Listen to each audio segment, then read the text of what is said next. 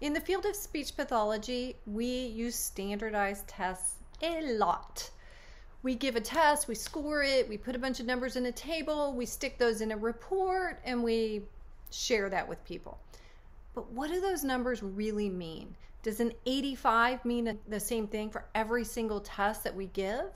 No, absolutely not. And it's really important for us to understand what all these numbers mean.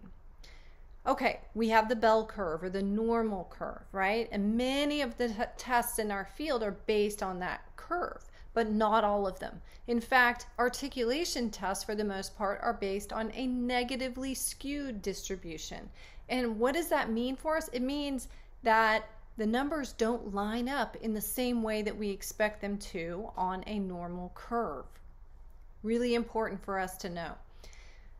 Then there are test statistics like reliability and validity, and we need to understand those because they really have an impact on how well this test is going to work.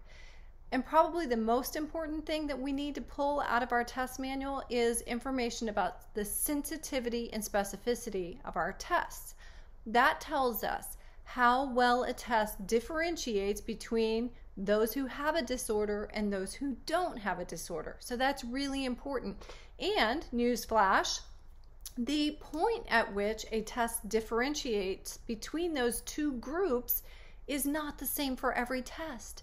So while we're very accustomed to saying, let's use 77 as a cutoff or let's use 85 as a cutoff, we really need to base that information on the specific test because different tests differentiate better at different points. So, really important information. We share all of this with you in this one hour course that we have on using standardized tests. Check it out.